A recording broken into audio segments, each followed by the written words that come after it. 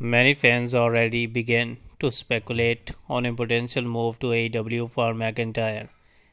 This was started only being fueled by AEW's announcement of All In pay-per-view event in UK. While there is no confirmation on McIntyre's potential move to AEW, it is worth noting that WWE Money in the Bank 2023 will also be held in London, UK in July McIntyre is considered a favorite to win the men's ladder match, though it remains to be seen if he will be participate.